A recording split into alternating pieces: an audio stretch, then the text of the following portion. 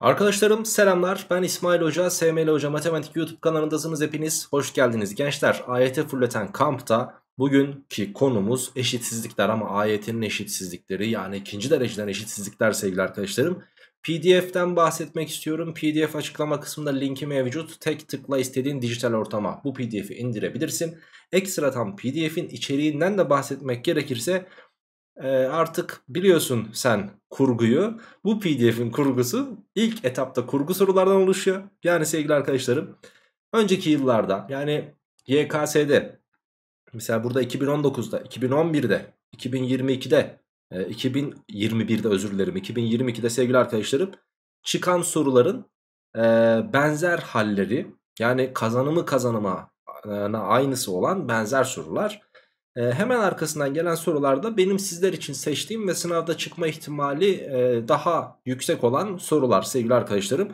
Bu pdf'de ve videoda 8 tane soru çözeceğiz. Bu sorulardan bahsedeceğiz, çözümlerinden bahsedeceğiz ve daha sonrasında ufak bir muhabbette videoyu bitireceğiz. Hadi gel vaktin senin dar ben biliyorum. Kanala abone olduysan ve burası çok önemli videoyu da beğendiysen başlayabiliriz dersimize. Evet 2019 AYT kurgusuyla başlayacağız. Burada bir kamyon üzerinde bir yük ve bir tane de sevgili arkadaşlarım bize bir tünel verilmiş. Bu tünelin yüksekliğinin 2 metre olduğundan bahsetmiş. Yani sevgili arkadaşlarım şuradaki yükseklik 2 metreymiş. Bu kamyona kasa yüksekliğini x metre geçen bir yük yüklenmiş. Şimdi şöyle ki ha burada bu arada özür dilerim burası 2 metre değilmiş. Çok çok ama çok özür dilerim. Burası m metre. Kamyonun dorsesi 2 metre ve bu dorseyi de 2 metre x metre sevgili arkadaşlarım geçecek şekilde bir yük yükleniyor. Kamyonun tünelden geçebilmesi için 2 artı x'in yani yüküyle beraber kamyonun kendisinin m'den küçük veya eşit olması eşitsizliği sağlaması gerekmekte. x 1 iken kamyon tünelden geçebiliyor. Şimdi şuraya 1 yazalım. 1'i yazdık ne oldu? 3 küçük veya eşittir m oldu. Sonra 3'ü yazalım. 3'ü bir yazdım ben buraya. Ne oldu? 2 ile 3'ün toplamı 5. Küçük veya eşittir m olmadı. He, şimdi matematikte şöyle bir işaret yok değil mi? Böyle bir şey yok. E, bu anlama gelen bir şey varmış. Çünkü biz bunun küçük veya eşit olmadığını biliyoruz. Bu anlama gelen bir şey var mı? Var. Ne bu anlama gelir? E, büyüktür işareti. Neden? Çünkü küçük olmayan ve eşit olmayan şey büyüktür arkadaşlar. Dolayısıyla demek ki burada 5 m'den daha büyük olacak. E, 5 m'den büyükse 5'i buraya yazarım. Şöyle ters çeviririm. M de 5'ten küçük olur değil mi? İşte M'nin değer aralığı en geniş aralık sorulmuştu bize. M nerededir? M elemandır. 3'ten kapalı 5'ten açık aralıktır. Dolayısıyla cevabımız da B seçeneğidir dedik. Devam ediyorum. Altta soru yok. İkinci sorumuzda 2021 AYT kurgusu bu da. Bir öğrenci var. Eşitsizlik sistemi ile ilgili öğretmenin verdiği ödev için aşağıdaki çözümü yapmış. Buna göre bu öğrencinin çözümünü yaptığı eşitsizlik sistemi aşağıdakilerden hangisi olabilir diye soruluyor. Şimdi öncelikle bakın şöyle düşüneceğiz. Burada çözüm kümesinin 3 bulunduğunu unutmayacağız. Bu çok değerli. Çünkü çözüm kümesi bulmadan zaten sonunu getiremeyiz sorunun. Bu bir. İkincisi şimdi birinci ve ikinci eşit e, eşitsizliklere bakalım. Birinci eşitsizlikte 10 diye bir kökümüz var. Eksi 8 diye bir kökümüz. Bir de 3 diye çift katlı olan bir kökümüz var. Bak şu iki tane çizgi çekmiş ya. Yani ben normal şartlar altında biliyorsun sana anlatırken bunları e, konu anlatımı yaparken bu çift çizgiyi hiç kullanmadım. Genelde iki tane şöyle boncuk taktık oraya. İşte o çift katlı kök anlamına geliyor arkadaşlarım. Şimdi 3'ün çift katlı kök olduğu eşitsizlikleri şıklardan eleye eleye gideceğiz. Bu doğru cevabı e, sevgili arkadaşlarım net bir şekilde bulma sorusu değil şıkların elenerek en son kalan şıkkın işaretlenme sorusudur aslına bakarsanız. Şimdi 3 çift katlı kök dedik. E buraya bakıyoruz. 3 çift katlı kök A şıkkında var fakat buranın içi dolu. E şimdi ben bu 3'ü kök olarak kabul edebiliyorum. Ama burada x eksi 3'ün karesi yani çift katlı köke sahip olan ifade payda kısmında olduğu için e ben payda kısmındaki kökü niye alayım? Ama bak burada almış. Demek ki A şıkkını ben eleyeceğim. Bay bay. Pekala devam. Şimdi e, 3'ü çift katlı kök olarak kabul eden bak B şıkkı var. Bak burada C şıkkı var. 3 eksi x'in kökü de 3'tür sonuçta. x eksi 3'ün karesi bak burada var bir de burada var. Demek ki diğer şıklar oluyor. Şimdi devam edelim. Mesela eksi 8'i kök olarak kabul eden ifade x artı 8'dir. Şimdi x artı 8 çarpanının olması lazım. Burada var. Güzel devam. Ve burada da var. E bunda da var. E'de var mı? E'de, E'de 8'i kök kabul eden var. Dolayısıyla E şıkkı gitti. Güzel. Şimdi Bir de onu kök olarak kabul edecek fakat onu alamayacağız. Neden kaynaklı alamayabiliriz? Çünkü paydadadır alamayız. Dolayısıyla sevgili arkadaşlarım paydada e, onu kök olarak kabul eden ifadeler arıyoruz. Buradaki 10 eksi x gibi, buradaki x eksi 10 gibi ve buradaki x eksi 10 gibi. Tamam bunların hepsi oluyor. Yani B, C, D şıkları cevaplardan birisi. Yani cevap bunlardan birisi. Şimdi geçelim alttaki eşitsizliğe, ikinci eşitsizliğe. Bunun kökleri 10 ve eksi 2. Yani ikinci eşitsizliğimizde bizim x eksi 10 diye bir çarpanımız mutlaka olacak. Bir de burada x artı 2 diye bir çarpanımız mutlaka olacak. İçleri de boş. Yani ikisinin de içi boşsa e şimdi şunlara bakıyorsunuz polinom, polinom, e burası da polinom. E şimdi içleri boşsa o zaman eşitlik olmayacak. Şimdi buraya bakıyorsun eşitlik var. C şıkkı bay bay. Gitti. Daha sonrasında şunda eşitlik yok bunda eşitlik yok ve x artı 2 yani kökü eksi 2 buranın da kökü 10 buranın eksi 2 buranın da 10. Yani B ve D şıkları kaldı geriye. Şimdi peki ben elemeyi nasıl yapacağım? Elemeyi şu şekilde yapacağız arkadaşlar bak. Şuradakilerin içlerinin dolu olmasının sebebi pay kısımlarındayken bu ifadeler yani bu köke sahip olan ifadeler pay kısmındayken demek ki eşitsizliğin içerisinde bir eşitlik var. Yani bak burada eşitlik var burada yok. Demek ki D şıkkını da eledim. O halde cevabım elenmeyen şık B seçeneğiymiş sevgili arkadaşlar. Evet cevaba B dedik ve devam ediyoruz. 2022 AYT kurgusu olan soruyla K bir tam sayı. X eksi K çarpı X eksi 4 küçüktür 0 eşitsizliğini sağlayan iki tane tam sayı X tam sayısı bulunmakta. E buna göre K sayısının alabileceği değerlerin çarpımı soruluyor. Şimdi öncelikle şuranın kökü ne? K. Buranın kökü ne? 4. Şimdi K 4'ten küçük mü büyük mü bilmiyoruz. O yüzden de alabileceği değerler demiş zaten. O halde ben K'nın 4'ten küçük olduğunu varsayarak bir şöyle yazacağım. Bir de K'nın 4'ten daha büyük olduğunu düşünerekten bu şekilde yazacağım. Daha sonrasında gidip bir eşitsizlik tablosu, kök tablosu çizeceğim arkadaşlar bunlar için. Ve bunları çizdikten sonra da sevgili arkadaşlarım şöyle çizelim de ondan sonra konuşalım. Heh. Şimdi bak bunları çizdik ya. Çizdikten sonra şunu yapacağız. Eşitlik olmadığı için içleri boş. Şöyle şöyle şöyle şöyle. İkisini birlikte çözüyoruz. Ayrı ayrı çözmeyeyim dedim. Daha sonrasında da e bunu sağlayan iki tane x tam sayısı varmış ya. Demek ki şurada iki tane tam sayı var. İki tane. Niye? Çünkü şunları alamıyoruz ya. Kökte neresi olacakmış demek ki köklerde şu kısım taradığım kısım olacakmış. 4 ile k arasında. Çünkü mesela k'nın sağ tarafında olsa sonsuz tane. 4'ün sol tarafında olsa sonsuz tane. Üst taraf için aynı muhabbet. Demek ki sevgili arkadaşlarım bu aralıkta olacak bizim köklerimiz. Şimdi 4'ten küçük olan ilk tam sayılar bir 3 var bir 2 var. O zaman k'nın alabileceği değerlerden bir tanesi 1'dir. Şimdi 4'ten büyük ne var? 5 var 6 var o zaman K'nın alabileceği diğer değer de 7'nin ta kendisidir. İşte bize bunların çarpımı sorulmuş. 1 ile 7'nin çarpımı 7 yapar. O halde cevabımız da D şıkkıdır diyebiliriz. Evet hayırlı uğurlu olsun ilk sayfamızı bitirdik. Güzel de sorulardı. Zorluk seviyesi olarak bana soracak olursanız da bu sorular 10 üzerinden e, ortalama 6 zorluk seviyesine sahip sorulardı. Mesela şu sorunun zorluk seviyesi bence 4 bile değil de 4 diyebiliriz. Şu sorunun zorluk seviyesi 6 diyelim. Şu sorunun zorluk seviyesine yine 6,5 diyebiliriz. Ortalama 6'ya yakın bir zorluk seviyesine sahipti bu kısım. Şimdi geçelim ikinci kısma. Bu arada videonun başında ben söylemeyi unuttum ama kurgu sorular için metin yayınlarına, kurgu olmayan sorular için de 3-4-5 yayınlarına, benim sevdiğim ve seçtiğim sorular için de 3-4-5 yayınlarına teşekkürlerimi iletiyorum. Şimdi devam edelim. İkinci sayfamızda 4 numaralı soruyla. Şimdi bak kurgu olmayan ama zorluk seviyesi 10 üzerinden 4 falan olan hatta 3 olan bir soru. Ama ÖSYM'ye çıkmaya aday. Şekilde f fonksiyonu grafiği gösterilmiş AYT sınavında özellikle. E buna göre demiş fx sıfırdan büyük veya eşit eşitsizliğini sağlayan kaç tane doğal sayı vardır diye soruluyor. Şimdi bak sıfırdan büyük veya eşit olacak diyor. Ve bu bunu sağlayan x'ler doğal sayı olacak diyor. Şimdi doğal sayılar nereden başlıyor? Sıfırdan. O zaman ben sıfırdan itibaren başlayacağım. Sıfırın görüntüsü pozitif. Şurada 1 var. 1'in görüntüsü pozitif. 2 var. 2'nin görüntüsü sıfır. Ama zaten burada da sıfırı dahil ettiği için 2'yi de alacağım.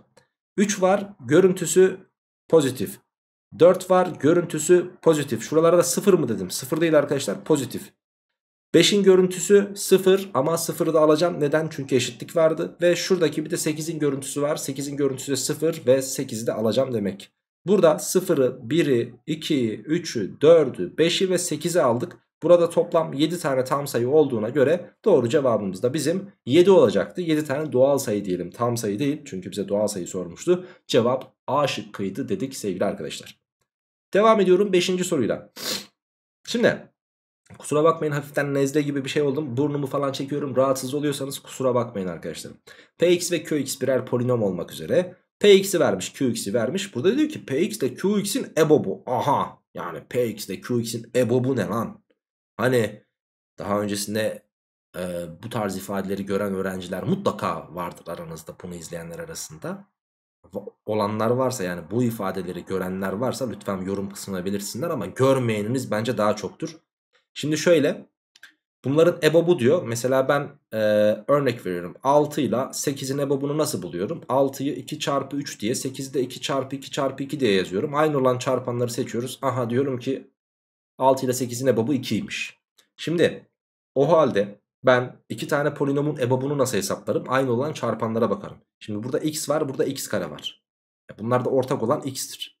x eksi 1'in karesi var x eksi 1'in küpü var. Demek ki burada ortak olan x eksi 1'in karesidir. X artı 2 var aşağıda yok. O zaman ebob burada 1'dir. Ve işte EBOB alma işlemi gerçekleşti. Px ile Qx'in EBOB'u buymuş ve bunun sıfırdan küçük olduğu eşitsizliği çözmemiz isteniyor. Ve bu eşitsizliğin tablosunu çizdikten sonra da bunu sağlayan en büyük iki tane negatif tam sayının toplamı soruluyor. Evet çok basit artık. Bunun kökü 0, bunun kökü 1 ama burada unutma ki 1 çift katlı kök çünkü karesi var. O halde 0'ı ve 1'i yazdıktan sonra şöyle şöyle yaptım. Bu çift katlı köktü. Bu tek katlı köktü. İçleri boş olacak çünkü eşitlik yok. Neyle başlayacağım? İkisi de pozitif olduğu için pozitifle başladım. Çift katlı kök gördüm. Pozitif. Tek katlı kök gördüm. Negatif. Benden nereyi istemişti? Negatif olan yerleri yani benim şurayı taramamı istiyor. Bu aralıktaki en büyük iki tane negatif tam sayı bir tanesi eksi 1'dir öteki eksi 2'dir. İşte bunların toplamı sorulmuş toplamları eksi 3'tür. Hayırlı uğurlu olsun cevap C şıkkıydı. Burada sizi zorlayabilecek olan tek şey aha da bunların EBOB'uydu ama EBOB'unda nasıl alındığını kolay bir şekilde anlattım ve sen de kolay bir şekilde anladın diye umuyorum. Şimdi arkadaşlarım ben müsaadenizle şu kısmı sileceğim. Ve tabii ki ne yapacağım? Bu soruyu üst tarafa da alt tarafa da bir yerlere çözeceğiz. Şimdi uzun kenarı 8 birim olan ABCD dikdörtgeni biçimdeki bir tahtaya uzunlukları x kare artı 2x ve x kare eksi 2x birim olan iki çift çakıldığında şekildeki görünüm elde ediliyor. Buna göre x'in alabileceği kaç tane tam sayı değeri vardır? Öncelikle kısa olan çivi x kare artı 2x e, x kare artı 2x. Uzun olan çivi x kare eksi 2x olduğu için bu x kare eksi 2x'ten daha küçüktür diyeceğim. Her iki taraftaki x kareleri götürdüm. Bunu bu tarafa atarsam 4x sıfırdan küçük ve x'in sıfırdan küçük olması gerektiğini anlayabiliriz.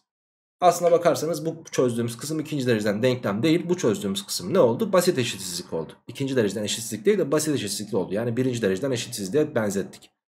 Peki x sıfırdan küçükse e, sonsuz tane vardır. Soru bitti mi? Hayır. Kenan hocanızın bir lafı vardır bilir misiniz? Soruda verilen her şeyi kullan. Soruda verilen bak burada 8'i kullanmadık biz hala. E o zaman 8'i de kullanalım.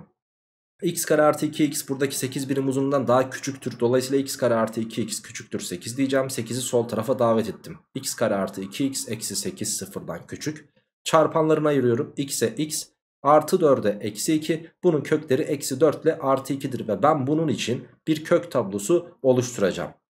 Peki kök tablosunda içleri boş olacak. Neyle başlayacağım? Artıyla sonra eksi sonra artı diye devam edeceğim. Ve diyeceğim ki madem küçük olan yerler isteniyor ben de negatif olan yerleri tararım. Buradaki tam sayılar nelerdir? Eksi 3 var, eksi 2 var, eksi 1 var, 0 var, 1 var. Başka yok ama 2 sıfırdan zaten küçük olması gerektiğini bildiğim için ben 0 ile 1'i de elerim. Burada sağlayan tam sayılar eksi 3, eksi 2 ve eksi 1'dir. Başkası değildir. Şimdi devam x kare eksi 2x dediğimiz şuradaki çivinin uzunluğu da gördüğünüz üzere dikdörtgenin uzun kenarından yani 8'den daha büyük olduğu için 8 de bu tarafa davet ettim. x kare eksi 2x eksi 8 büyüktür 0 dedim. x'e x ve eksi 4'e artı 2 diye açtım. x'ler bir eksi 2 bir de artı 4 geldi ve ben bunun için bir kök tablosu daha oluşturacağım. Artı eksi artı dedim içleri boş ve benden istenen yer negatif yerler olduğu için şu e, pozitif özür dilerim ee, bakalım x kare eksi 2x 8'den büyük tamam pozitif yerler olduğu için bir şurası bir de burası dedim arkadaşlar. Şimdi buradaki sağlayan tam sayılar zaten negatifleri istediği için bu tarafa alamam. Poz e, negatifleri istediğinden şu tarafta neler vardır arkadaşlar? Eksi 3 var, eksi 4 var, eksi 5 var diye devam ediyor. Ama ben bunları şunların içinden seçmem gerekiyor. Çünkü her ikisini de sağlaması gerekiyor. E burada sağlayan sadece ne var? Eksi 3 var. O halde kaç tane tam sayı değeri vardır diyordu. Bir tanecik bulduk. Cevabımız A şıkkı olmuş oldu. Şimdi sol tarafı bitirdik ve geçtim sağ tarafa 7. sorumdayım. fx ikinci dereceden bir fonksiyon olmak üzere aşağıdaki kağıdın üzerine fx sıfırdan küçük eşitsizliğinin tablosu çizilip kırmızı boyalı aralık çözüm aralığı kabul edilmiş. Sonrasında kağıt şekilde gösterildiği gibi yırtılmış. Yani aslında bu kağıt şöyle tam ama bir köşesi yırtılıyor arkadaşlar. Yırtıldıktan sonra da bu tablonun işte sağ tarafı artık e, sizlere ömür oluyor. Şimdi fx sıfırdan küçük eşitsizliğini sağlayan tam sayıların toplamı 25'tir demiş. E burası artıysa ben buranın eksi olması gerektiğini biliyorum. Demek ki bu aralıkta sağlayanların toplamı 25'miş. Şimdi 2'den sonra ne geliyor? 3 var. 4 var, 5 var, 6 var, 7 var, 8 var. Şimdi ben burada duracağım. Çünkü 3, 4, 5, 6 ve 7'nin toplamı zaten yani sağlayan tam sayıların toplamı 25 oluyor burası. Demek ki sağlayanlar bunlar. Şimdi sağlamayanlar arkadaşlarım e, demek ki 7'den sonra yani bizim şuradaki kökümüz x diyelim ona 7'den büyük olmak zorunda. E, buradaki kökümüz de 2. E şimdi bakıyoruz kağıt üzerinde verilen bilgilere göre fx eşittir 0 denkleminin kökler toplamı hangisi olabilir? Şimdi kök buradaki kök 7'den büyük. E şimdi buradaki kökte 2. Ben bunları toplarsam cevabın 9'dan daha büyük olması gerektiğini kesinlikle söyleyebilirim. Şimdi bakıyorsun 6 9'dan büyük değil. 6,5 7. E burası da hocam kaç? 8,5. Bu da olmadı ama buna bakıyorsun 9,5. Ben ne demiştim? 9'dan büyük olacaktı. O halde cevap E şıkkıydı diyebiliriz sevgili arkadaşlar. Bence mükemmel bir soru. Tam olarak ÖSYM ayarında bir soru. Dolayısıyla buraya şu şekilde bir ÖSYM logosu çakabilirsiniz. Bu soruyu sınava girmeden önce mutlaka surette tekrar edin arkadaşlar. 8. soru. A, B, C ve D gerçel sayıları için bu, bu arada son sorumuz. x eksi a'nın karesi bölü x artı b büyük veya eşit 0 ve cx kare artı dx eksi 12 büyük veya eşit 0 eşitsizliklerinin çözüm tablosu ahanda buymuş. Ve çözüm kümesi de 2'den sonsuza kadarmış yani şu tarafmış. Buna göre a eksi b artı c eksi d kaçtır diye soruluyor. Şimdi bak. Şurada bir çift katlı kök var. Şunun içinde ve şunun içinde. Buraya bakıyorsun bu çift kat kökün yanı sıra bir de burada kök var. He, şimdi o zaman şuna 1 numara buna 2 numara dersen şurası 1 numaranın burası 2 numaranın. Çok güzel. Şimdi buraya bakıyorsun çift katlı kök burada ne? A. E burada ne? 2. Demek ki A 2'ymiş arkadaşlar. A'nın 2 olması gerektiğini bulduk. Çok güzel. Şimdi buraya bakıyorsun burası eksi 1. Demek ki buranın kökü eksi 1. Eksi 1 ile B'yi toplayınca 0 veriyorsa demek ki B kaçmış o da 1. B'yi de bulduk 1. Şimdi geçtim ikinciye. 2 var. Eksi 3 var. Şimdi bunun kökleri 2 ve eksi 3 ise. Buraya bakıyorsun kökler çarpımını eksi 12 bölü c. E buraya bakıyorsun 2 kere eksi 3 eksi 6. O zaman c'nin kaç olmasını bekleriz? 2. c de 2'ymiş arkadaşlar. Eksi şurası eksiydi şurası artıydı. Bir de d var. d'yi nasıl bulurum? Kökler toplamından. E burada köklerimiz 2 ile eksi 3 iken toplarım eksi 1. Kökler toplamını nasıl buluyordum? Eksi b bölü a ile. Peki buradaki eksi b bölü a ne? d bölü c. Eksi d bölü c. Şimdi eksiler gitsin. d bölü c 1'miş. E, c kaçtı? E, 2 idi hocam. O zaman d de 2'dir. Yani burası da 2'ymiş.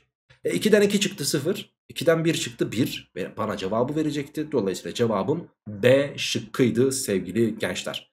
Evet çok güzel 8 tane soru çözdük. Birbirinden güzel 8 soru çözdük. Ve bu sorular sayesinde artık eşitsizliklerde karşına gelebilecek soru tiplerinde ben sana göstermeye çalıştım. Umarım faydalı olmuştur. Umarım yararlı olmuştur. Siz bu seriyi çok sevdiniz. Ve buradan da e, güzel bir haber de verebilirim. İlk 10 soru için istiyorsunuz, video istiyorsunuz. İlk 10 soru için de pdf'lerimi hazırlamaya başladım arkadaşlar. Aklınızda bulunsun. Yani ben sizi seviyorum. Tabi bil mukabele. ben sizi seviyorum ve kırmak da istemiyorum. E sizler bunu çok istiyorsunuz. Ve ben de bunu boynumun borcu bilirim açıkçası. Şimdi arkadaşlarım e, her videoda söylediğim gibi tekrar yine söyleyeceğim. Bakın sınava kalmış şurada sayılı günler. Zor soru peşine düşmeyin. Zor denemeler peşine düşmeyin arkadaşlar. Tamam eyvallah. Zor soru çözmek bizi geliştirir. Matematiğimizi geliştirir. Matematikçiliğimizi geliştirir. Fakat şöyle bir durum var. ÖSYM bize şunu söylemiyor. Sen çok iyi matematikçisin diye bizi almıyor. ÖSYM sınavda ne kadar çok matematik yapan kişi varsa onları alıyor üniversitelerine. Yani yani ona puan veriyor. Anlatabildim mi? Yani olay şu. Ee, örnek veriyorum. Gittik e, EU'leri mezarından kaldırdık. Tamam. Gittik ÖSYM'nin sınavına soktuk. Bu adam yapamadı soruları. Yani doğru seçenekleri işaretlemedi ama evlerden bahsediyoruz. Ya evlerden bahsediyoruz ya. Değil mi? Ama bu adam ÖSYM'nin sorularını yapamadı. ÖSYM ne diyor biliyor musun? Ne der biliyor musun evlere? Ya kardeş sen dur orada dur. Sen matematik çözememişsin yani yapamamışsın. Demek ki sen matematik bilmiyorsun. Sen benim üniversitelerime girmeye hak kazanamadın. Çünkü düşük puan almışsın. Der ve postalar. Yani umarım derdimi bu cümleyle çok iyi anlatabilmişimdir. Arkadaşlar iyi bir matematikçi olmakla tamam sınavda iyi matematik neti yapmak arasında dağlar kadar fark var. Bu ayrımı iyi çözelim. Eğer sen iyi bir matematikçi olmak istiyorsan eyvallah. Matematik zor matematik soruları çöz, kendini geliştir, durmadan kendini güncelle bak bu çok çok değerli. Kendini güncel tut. Tamam. Ama sen sınavda iyi bir matematik neti yapıp iyi bir bölüme yerleşip istediğin bölüme yerleşip daha sonrasında matematikle uğraşmam ben hocam diyorsan o zaman ÖSYM'nin tarzını anlamak senin için daha mantıklı. Ki bence herkes için şu an söylüyorum sayılı günler kala. ÖSYM'nin tarzı, ÖSYM'nin bir stili var. Bu kurum e, Türkiye'de senelerdir siz yokken de sınav yapıyordu. Siz varsınız hala sınav yapıyor ve yapmaya da devam edecek. Arkadaşlar artık bu kurumun bir stili, bir tarzı var. Bu tarza ayak uydurmak gerekiyor. Bu tarzı anlamak gerekiyor. Bu tarzı anlar, anlarsanız onlara yönelik sorular çözerseniz bakın zor soru demiyorum. Buna yönelik sorular çözerseniz işte o zaman sevgili arkadaşlarım ÖSYM'nin tarzını bildiğiniz için çok basit bir biçimde sınavda heyecansız bir şekilde soruları tıkır tıkır çözersiniz. Olay aslında bu kadar basit. Evet gençler sonraki videolarda görüşürüz. Hoşçakalın. Sizleri çok seviyorum. Sağlıkla kalın ve tabii ki bol bol matematik çalışmayı da lütfen unutmayın.